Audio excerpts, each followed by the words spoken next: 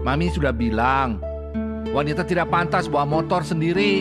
Tapi zaman sudah berubah, wanita pun sudah maju. Buat apa beli motor? Bisa naik angkot.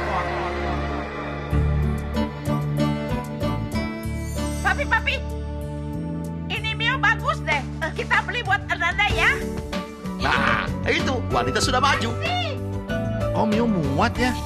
Yamaha Mio, jangan mau ketinggalan.